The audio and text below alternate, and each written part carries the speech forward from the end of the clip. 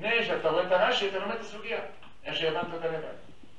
כשאתה רואה את הרש"י, אתה מתחיל לראות אם רש"י ביד כמוך, אשריך. אם רש"י הסבירו כמוך, עליך להבין. מדוע מה שהבנת זה טעות. מתחיל עכשיו לחשוב, למה באמת רש"י לא ביד כמו שהבנתי? אז אתה מבין את הטעות שלך. עוד דיבור ועוד דיבור ועוד דיבור עד שהשלמת את הסוגיה. לאחר מכן, תקריב את הספות. ולומדים את הקושייה. אחר כך, ויש במה. מה הייתה אמינה? אם יש ה"ויש במה", אז מה הייתה אמינה? מה התחדש ב"ויש במה"? אחרי שאמרת "ויש במה", תוספים מביאים עוד ועוד יש במה.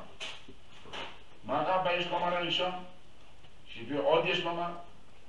ואם העוד יש במה יותר טוב מהראשון, אז למה הבאת את היש במה לראשון? תביא רק את העוד יש במה. תמיד תוספים מביאים אינמי יש במה. או, זה. מה הדוחק שיש בראשון ובשני שאין בשלישי, באינמי. ואם האינמי יותר טוב משניהם, תביא את האינמי לבד. ולמה הבאת את האינמי שלישי ולא ראשון? ולמה דווקא האינמי נמצא במקום השלישי ולא בתחנה השנייה? למה לא בבעוד יש במה? זה לא פשוט. עכשיו יושבים התגרים, מתחילים לדון על ה... יש במה הראשון. מה התחדש במסקנה, מה לא היה מובן באמנינה. ולאחר מכן, על הבעוד יש במה. מה יש בזה? כשמגיעים לאינמי זה כבר בערוב היום, כשבקעת נעילה. עכשיו, הוא אומר, יש תבלין, אחד מהתבלינים, קוראים לו אין מי.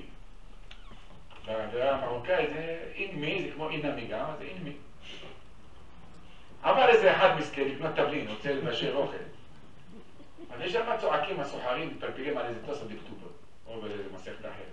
כתובות אבל הייתה מסכתה מאוד אהובה על המרצ'ים. אז הוא אומר לו, מחילה, אין לי זמן פה לחכות, בפלפולים. אפשר לקבל עם מי? ההוא התעצבן עליו. אבל שעה פה, תדבר לך עליו ועוד יש לומר, אתה כבר רוצה עם מי עכשיו? חכה, זה בסוף היום נגיע לעם מי. הוא לא מבין מה אני, רוצה תבלינים, אני לא רוצה עכשיו לדעת מה הוא מדבר. הם שקועים בלימוד. והוא רוצה בסך רק תבלין. ככה זה היה נראה רחוב. תסתכלו בהקדמה לעבודת הלוי. וזה אמת לאמיתה. ככה היה נראה רחוב. היו שקועים בלימוד, מעיינים, למדנים, תלמידי חכמים. הדוד של אמי, עליה השלום, ממערכי קראו שלמה עזרן. היה צדיק וחסיד. הוא היה מתלמידיו של רבי אלעזר הלוי. רבי שלמה עזרן, היו קוראים לו שם אחר, היה לו כינוי. אתם יודעים שבמרקש היה, כולם יש להם כינוי. הכינוי שלו היה בבא, לא מה הבבות שיש היום כל מיני בבא זה או בבא הוא, בבא מציאה. ולמה קראו לו בבא מציאה? כי הספרים היו נדירים. אה, נכון רבי אליהו, ספרים נדירים. מי היה לו תלמוד? מי שהיה לו מסכת אחת, היה שומר עליה כבבת עינו? מי היה לו תלמוד? סיפר לי מורבי עליו השלום, שהיו נלחמים על כל כרך, והיו עושים לו כריכה, ואיך אומרים בערבית, תחסמוע, תחסמוע מסחר. היו כורכים אותם בכריכה מיוחדת, בקרטון מיוחד, עד שיש לך גמרא, אתה שומר עליה כבבת עיניך. והיו נלחמים עליה, והיו משאילים אחד לשני. כך, בבא קמא תביא לי בבא מציאה, אני אחזיר לך בבא מציאה, תחזיר לי בבא קמא. עד היום, ברוך השם, יש לך תלמודים מכמה סוגים, מכמה... אבל מה היה איזה עניות האלה, תחת, עד שמביאים ספר אחד. קיצור, אז למה קראו לו בבא מציאה לחכם שלמה? כי לא היה ש"ס. היה גמרא אחת מציאה, היה גמרא אחת בבא קמא, ורבי אלעזר הלוי היה מבקש ממנו, בוא הנה אתה, אתה תלמד בבא מציאה, תדע אותה בעל פה, מילה במילה. מתחילתה ועד סופה, כולל ראשי ותוספות. ואתה, בבא קמא, כמו שעשה בעיר, ואתה בבא קמא, ואתה בבא בתרא, וככה כל אחד ואחד. רבי שלמה היה במציאה. וכשיושבים לפניו, וצריכים גמרא ואין את הגמרא, אומר לו בוא, בבא מציאה, בוא הנה. מה, איפה כתוב כך וכך? אז הוא בבא מציאה. וככה היה כינויו, קבור בצפת. זה רבי שלמה הזה. היו בעניות, בדחק, תלמידי חכמים ששקועים בלימוד, שכל אות ואות בתלמוד היא לא מיותרת. כל מילה ומילה מדקדקים בה, כמו שאמר שרבי עקיבא היה דורש את התגין של ספר תורה, ויאמר עליהם פקידי פקידים של הלכות. ככה זה בלימוד. דבר שלא נכנס במילים, זה לא אמת. זו הייתה השיטה הלימודית. אתה לומד, צריך שמה שאתה אומר יהיה כתוב. לא מה שאתה אומר זה כאילו כתוב ותכניס את זה על ידי דפיקה לסטנדר ואז אתה ככה אם זה הפשט. לפעמים כשלא הולך אחד השיטות בהרצאות, בנאום, שאתה לא משכנע כל כך בהסבר, מה תעשה?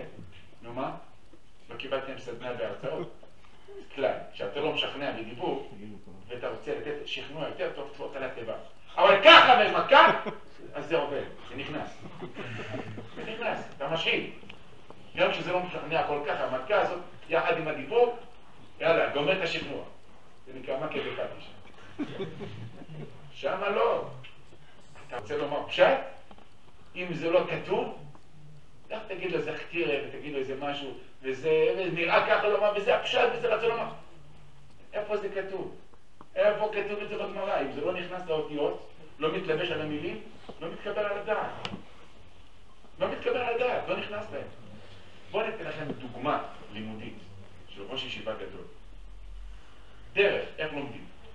איך לומדים בעולם התורה הישיבתי, ואיך גישה פשוטה של רבי אלעזר הלוי עליו השלום, מיישב את העניין בפשטות. יכול להיות שאני יכול להביא לכם הרבה דוגמאות, אבל הזמן קצר, יש פה רבנים, נראה רק שתי דוגמאות וזה מסיים. דוגמה אחת,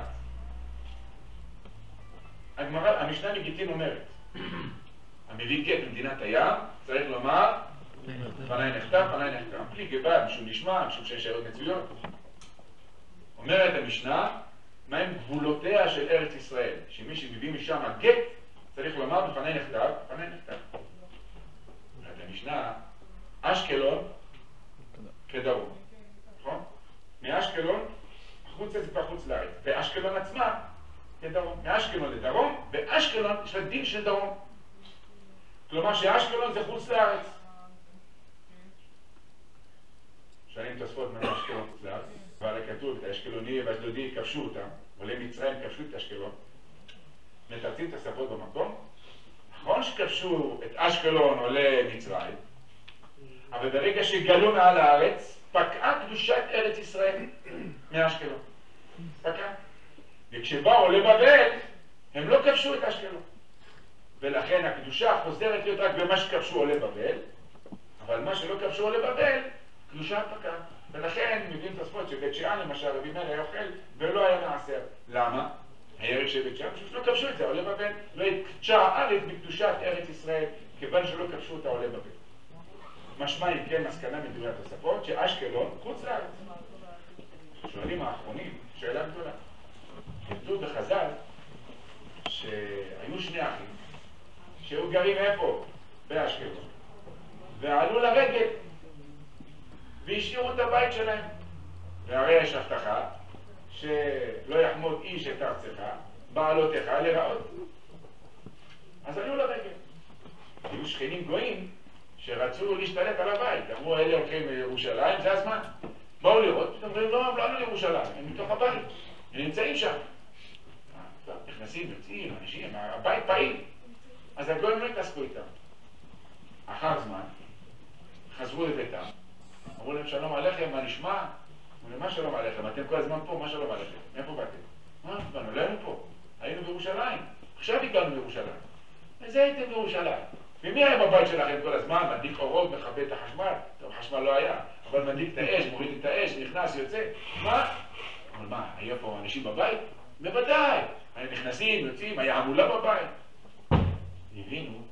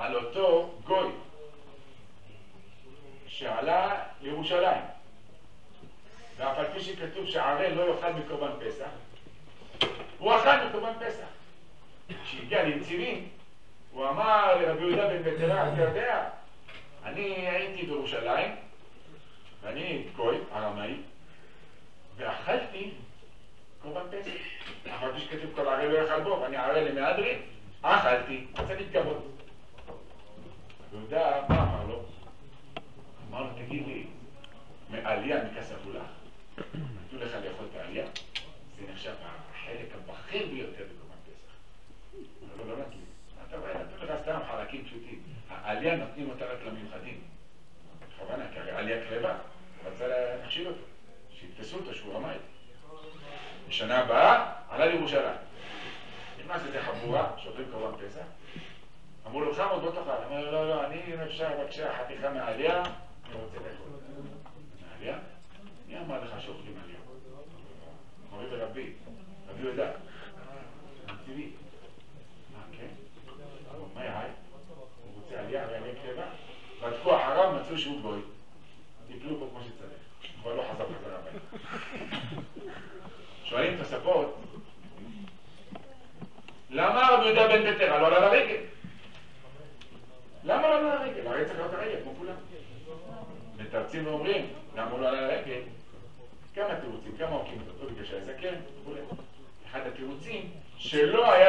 בארץ ישראל.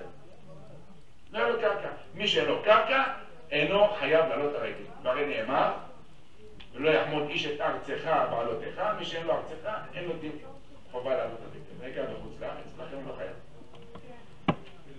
זאת אומרת, שמי שגר בחוץ לארץ ולא בארץ ישראל, אין לו דין חובה עלייה לרגל. אם כן שואלים, למה אותם שני אחים עלו לרגל? הרי הם לא גרו בארץ ישראל. אם אשקלון כדרום, אז זה לא ארץ ישראל, אז למה עלו לרגל? בדיוק מינה שאשקלון זה ארץ ישראל. תשובה, במדינה חינם ולא חייבים. לחוץ לארץ. אבל עלו מנדבת ליבם. אף על פי שלא היו חייבים, עלו. השתדלות. אפשר לומר תירוץ כזה? שעלו ככה מנדבת ליבם? למה לא?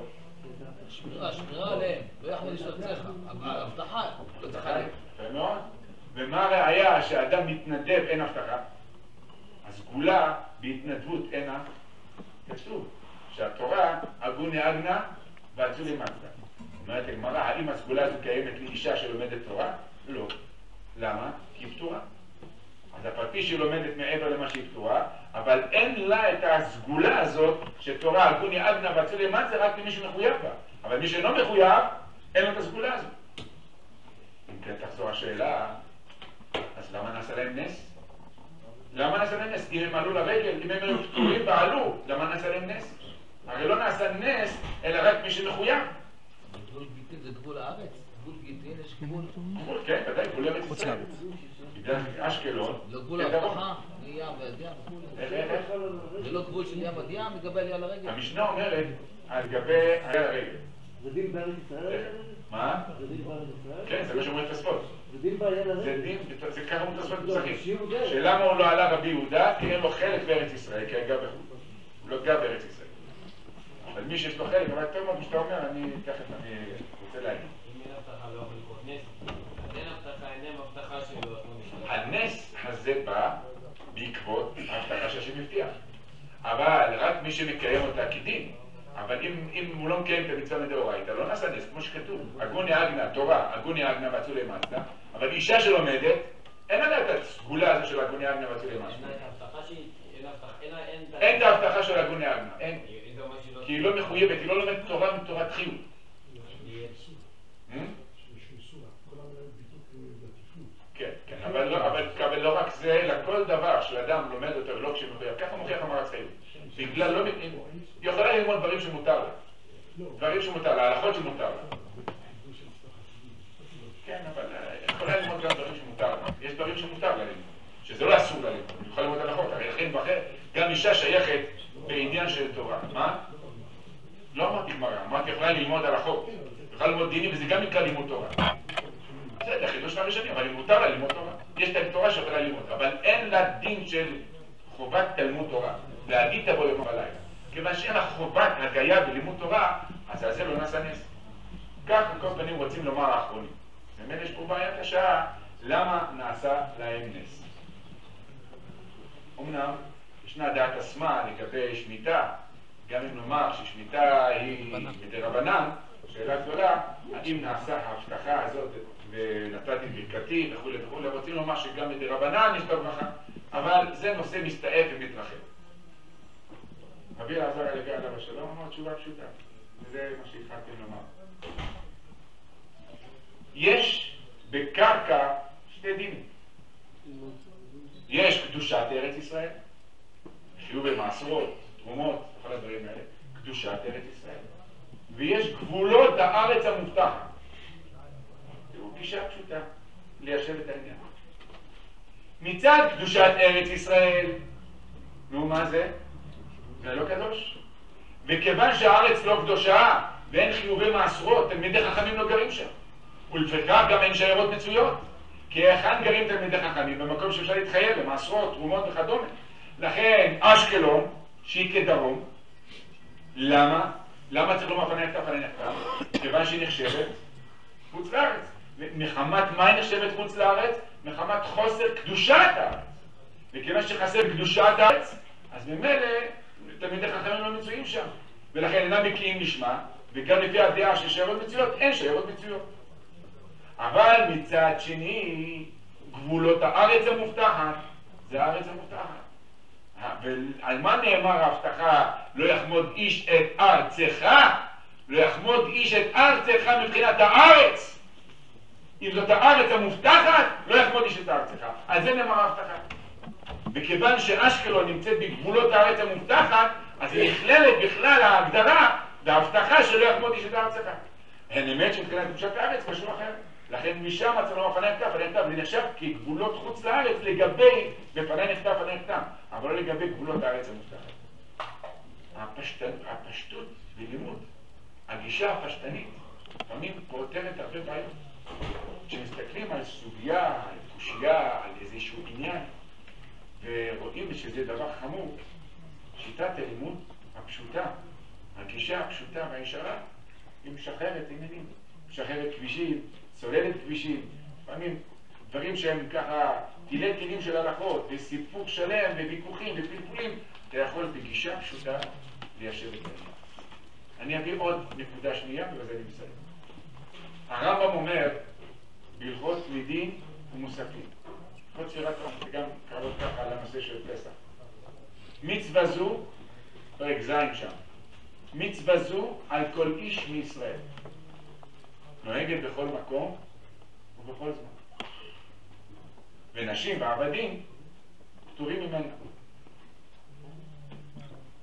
מצווה זו של ספירת העומר על כל איש מישראל, כל אחד חייב. כל חייב. ממשיך ואומר עוד הלכה, נוהגת בכל מקום ובכל זמן, בכל מקום בין בארץ בין בחוץ לארץ, ובכל זמן בין שבית המקדש קיים בין כשאינו קיים. ונשים ועבדים פטורים ממנו. למה נשים פטורים? למה נשים פטורות? הרי מצווה כמו כל המצוות, מה דינה? שאם זה זמן גרמה, נשים פטורות. אז גם מצווה זו של ספירת העומר זה זמן גרמה פעם בשנה, ולכן נשים פטורות זו סיבה פשוטה. הרמב"ן חולק על הרמב"ן. הרמב"ן מקידושין כותב לגבי הנידון של זמן גרמה או לא זמן גרמה, הוא מונה מה זה מצוות שאינם זמן גרמה, תנא ושיר, מה זה נקרא לא זמן גרמה, אז הוא אומר כמה מצוות, וביניהם הוא מונה גם ספירת העומר, שזה לא נקרא זמן גרמה. ולכן אישה חייבת לפי דבריו. כולם צועקים על הרמב"ן, איך הוא אומר, שלא זמן גרמה, נשים חייבות.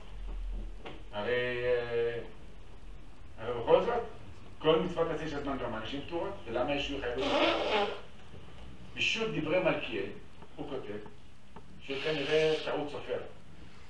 ולא כך כתוב ברמב"ן, וכנראה שהיה כתוב משהו אחר, וזה השתבש הדבר ונהיה אה, ספירת העומר, אבל זה היה משהו אחר. אז הוא אמר שזה טעות סופר.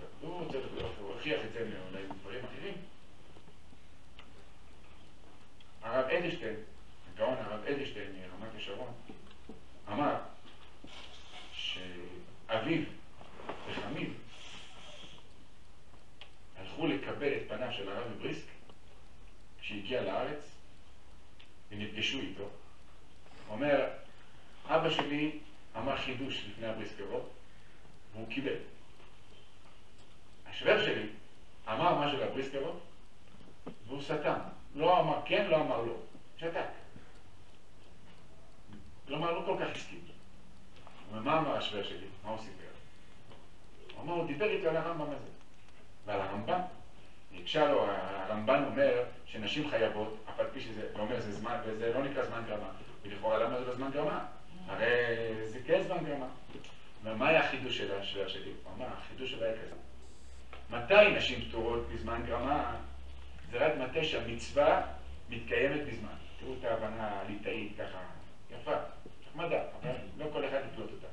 ומתי זה נקרא זמן גרמה? כשהמצווה מתקיימת בזמן, כמו תפילין, כמו ציצית. אתה יכול אה, לקיים את הציצית גם בלילה, גם ביום. בתורה ואמרה שתקיים את המצווה ביום. זה נקרא שהמצווה מתקיימת בזמן. אבל ספירת העומר, אתה לא מקיים מצווה בזמן, אתה סופר את הזמן בעצמו. את מהות הזמן אתה סופר. אז זה לא נראה זמן גרמה נשים פטורות. מתי זמן גרמה נשים פטורות? שאתה מקיים מצווה שמתקיימת בזמן. אבל כשאתה סופר, הזמן זה מהות המצווה, זה החפצה של המצווה, שאתה סופר את הזמן בעצמו, אז זה לא נורא זמן גרמה. אבל לכאורה זה ספרה יפה, יש להרחיב בהגדרה פה. אבל, אבל אז למה לא קיבל עם סוכה? מה? אתה יושב, אתה מקיים מצווה של סוכה בזמן, בתשרי. לא, נשים פטורות? כי זה זמן גרמה. למה? כי- כי זה המצווה... מצווה שתלויה בזמן. מצויה, לא מצווה תלויה שתלויה בזמן. לא, בתשרי. יודעים לשאול את הסוכה זה בין בלילה בין ביום. כן, אבל זה בתשרי. מצד תשרי, רק בתשרי. אתה לא- חודש וחצי. לא, לא, זה זמן. זה זמן. תפתרו שם שהחיינו. לא, תשרי.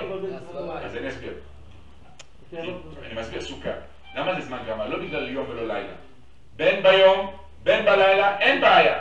אבל הזמן גרמה שם, שזה בפרק זמן של שבעה ימים. זה הזמן. זה לא ותשע יום. מה? פה. כן, אבל הסברתי לך. הוא אמר שהתפיסה שלו, אמרתי לך, זו תפיסה שצריך להבין לא, אותה. אני אנסה להסביר, זה לא... תקשיב טוב. זמן גרמה, הפירוש הוא שאתה מקיים מצווה בתוך זמן, זה כמו סוכה, כמו כל הדברים האלה, אתה מקיים את המצווה בזמן מסוים. פה אתה לא מקיים מצווה בזמן מסוים, אתה סופר את הזמן בעצמו. המצווה היא לספור את הזמן, את היום, את הזמן עצמו לספור אותו. זה לא מצווה שמתקיימת בזמן, אתה סופר את הזמן. זה הגדרה אחרת לגמרי, זה שונה מאשר לקיים ציצית בזמן. סוכה בחודש תשרה בזמן מסוים. אתה מקיים את הסוכה בזמן, לא, הזמן עצמו הוא לא המצווה, זה הסוכה זה המצווה, והסוכה מתקיימת בזמן. בעוד שכאן ספירת העומר אתה סופר את הזמן. מבחינה, אמרתי לך, משהו אשכנזי נחמד, לא כל- לא כל מרוקאי יקלוט את זה. בסדר, זה מה שאני רוצה להמחיש לכם, את ההבדלים. אבל תסתכלו שם במנחת חינוך, יש לו בעקבות מנחת חינוך, סיפרו של יעקב אדלשטיין, בעקבות מנחת חינוך, זה גישה אחרת, הסתכלות אחרת. יש ומה הוא אומר? יש לזה סיוע, אבל יש כתוב לזה סיוע, כן? בסף מלאך. כן. השלה כותב מה זה בסף מלאך, שיש לה מצוות עשה לספור. כולם דחו את השלב הזה. איך? כולם דחו את השלב הזה. תשובה כתוב. אף אחד לא קיבל את זה. אז תברך גם על המצווה וגם על הזאת. ספירה, גם על ספירה אני אשמח מאוד שתדברו על זה בלימוד, זה טוב מאוד, אבל פשוט יש פה עוד רבנים, אני לא רוצה לעכב אותם. אני רק רוצה להגיד לכם קצת את ההבדלים ואת הגישות. אז אני רוצה להגיד לכם איזה רעיון ששמעתי מ- ממון חמיד, שיהיה בריא, שגם כן מחכמי מרקש, וגם למד מהתורה הזו, הגאון הגדול רבי אברהם חפוטה, שחיבר עשרות רבות של ספרים, אז אני אתן לכם קצת גישה והסתכלות שונה. על כל פנים, הוא אומר, למה הבריסקרו לא קיבל את זה? הבריסקרו לא קיבל את זה, כי כנראה סביר עליה שאין רמב"ן כזה. שהרמב"ן הזה כנראה טעות סופר, כמו שאמר דברי מלכיאל. אבל עצם הסברה, הוא אומר, סברה נפלאה עד מאוד. תסתכלו שם מה שכתוב. כן.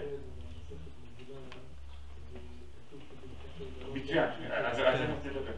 כן, כן, כן, ודאי.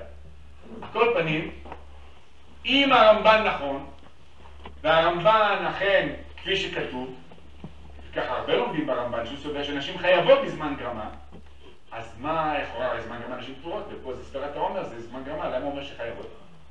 אז יש הלכה לגבי ברכת האילנות.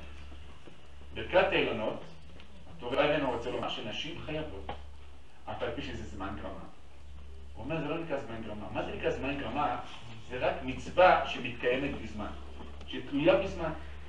אבל האילנות, זה תלוי מתי שהאילן מלבלב, תלוי במציאות. מתי שהאילן ילבלב, תברך ברכת האילנות. זה לא קשור לזמן, זה לא מצומצם מזמן, וזה לא בנוי על זמן, זה תלוי במציאות, מתי שזה מלבלב. ולכן אם האילנות הם מלבלבים בתשרי, תברך אותם בתשרי. מתי שילבלב, שם תברך. ולכן ממילא נשים יהיו חייבות בברכת אילנות. גם חכמה שלמה, רב שלמה קלוגר, בברכת הלבנה בנידון הזה. ועוד פוסקים, הרב עובדיה יוסף מרן, פוסק שנשים חייבות בברכת אילנות הלכה למעשה. אף על פי שלכאורה זה נראה זמן גרמה, זה לא נקרא הגדרה של זמן גרמה, כי זה עניין של מציאות מתי שהאילנות מלבלבים. בעקבות זה, ישנה חקירה מפורסמת גדולה באחרונים לגבי הנידון של ספירת העומר. האם ספירת העומר, וספרתם לכם במחרת השבת, מיום אביאכם את עומר התנופה, האם המיום אביאכם את עומר התנופה זה פשט מזמן אביאכם את עומר התנופה? זה תלוי בזמן, מתי שאתה מקריב את עומר התנופה, בזמן הזה אתה צריך לבוא ולומר את, ה... את הספירה, כלומר זה דין בזמן של העומר. או שהוספרתם לכם בחודש השבת מיום וחמתם התנופה, הפשט הוא מיום הקריבכם את העומר. זה לא תלוי בזמן, תלוי בהקרבה. כלומר שהספירה היא חלק מהקרבת הקורבן. וזה הפלא ופלא. אם נאמר שספירת העומר היא מצווה בפני עצמה, לא קשורה, לא קשורה להקרבת העומר. אלא מה שהתורה אומרת, וספרתם לכם בחודש השבת, מיום אביכם את עומר התקופה סימנה באנו, ואתם מתחילים לספור. אז זה זמן גרמה, זה לא קשור לשום דבר מהעומר, אז נשים פטורות. אבל אם נאמר שהספירה היא, היא דין בקורבן העומר, וספרתם לכם מיום הקרבת העומר, מיום שמקריבים את העומר, כלומר זה קשור להקרבת העומר. משמע, אם אין הקרבת העומר, אין ספירה.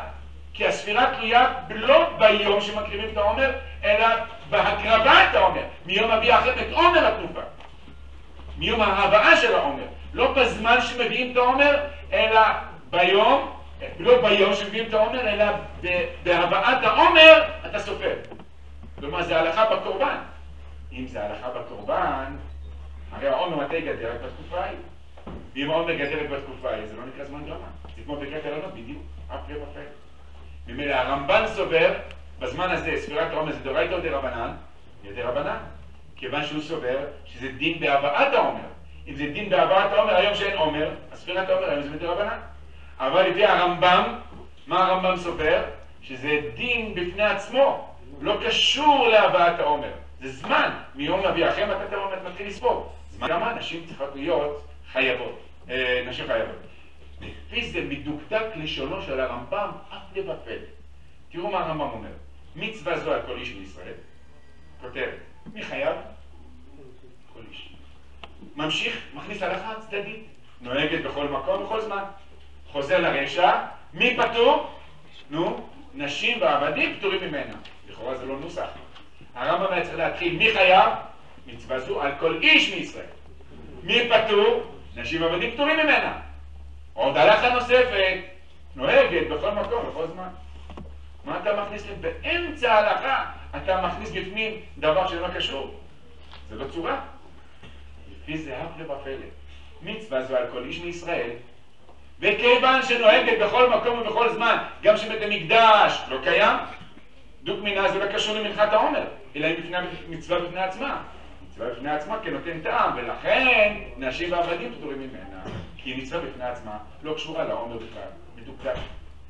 צריך עיון הכי גדול ששואלים פה הרב פרנק ועוד אחרונים, למה זה מוזכר ברמב"ם בהלכות תמידים נוספים? צריך עיון. שאלתי את חמי, שיהיה בריא. אמרתי לו, מה כבודו אומר? שואלים, משאירים את זה בתמיהה, אם לפי הרמב"ם נוהגת בכל מקום, בכל זמן, בין שבית המקדש קיים, בין שאינו קיים, כלומר זה לא קשור למנחת העומר. לא קשור למנחת העומר, אז למה זה מובא בהלכות מידים ומוספים וקורבנות? שזה יום המשיח, שזה יום פריאה, בהלכות אה, אה, רגילים, מצוות, זמנים ומועדים, איך שתרצה. אבל למה בהלכות קורבנות? למה בסדר קורבנות? צריך פה גישה לי השם. האחרונים נשארו פה קצת חיוב. פלא פלאים, תסתכלו מקראי קודש ובתמה וצריך חיוב. מה אתם אומרים? גישה פשוטה. גישה פשוטה שמיישבת את העניין בפשטות. ופה תראו, שימו את השיטה הספרדית העיון המרגשי מול שיטת הלימוד הישיבתית. הנה פה ראינו פלפול יפה, שמנו פה צד עיון, קושייה, למה הרמב"ם כתב את זה בכלל בדינים מוספים. בואו נמצא זווית שונה, פשוטה, איך אנחנו מיישבים את זה, וזה סיימתי. למעשה רק ראינו שתי גישות, איך לומדים, איך למדו ואיך לומדים. נו, התורה הזכירה את זה ליד הפסוק. התורה הזכירה בו ליד הפסוק. הזכיר, אבל זה לא, זה לא, זה לא לא שייך לקורבן העומר. אולי, אולי יש מציאות שאני יכול לקיים את שניהם. ברגע שאני מקיים את שניהם, יש לי הן מצד מצווה שהזמן גרמה, והן מצווה, המצווה העצמית. וכשאני מקיים את שניהם, ממילא אני כולל את, אה, אני עושה את שניהם. אבל מה זה קשר? אני גם מניח ולכן- באותו יום. ולכן, אני גם מניח באותו יום. איך? אני נתתי בציצית באותו יום. אני עושה עוד מצוות באותו יום, אז מה זה קשר? זה נהפך להיות שייך לזה. אם אדם, עשה עוד מצווה באותו יום, זה מחבר אותו לכל המצוות, כל המצוות שהוא עשה באותו יום, זה יפה, מה- אין קשר. גם אם זה יום. זמן כלשהו. זה הזמן שהתורה קבעה. התורה. היא מצווה בפני עצמה, והתורה קבעה אותה פה. לכן זה זמן גרמה. לכן הרב אומר שנשים פטורות. לכן, צריך להיות בתמידים, לכן צריך להיות עם קורבנות. בגלל שאתה לא יכול לספור אותה. אני יכול לספור מתי שאני רוצה, רק התורה צמצמה אותי לפה. בדיוק. אז זה- נקרא זמן גרמה, זה לא קשור לקורבן. זה לא קשור לקורבן, זה הזמן שהתורה קבעה. רק סימנה בעלמא מי עומד לכם את אומרת. לכן נשים פטורות. התשובה היא פשוטה. מתי מקריבים קורבן של שבוע?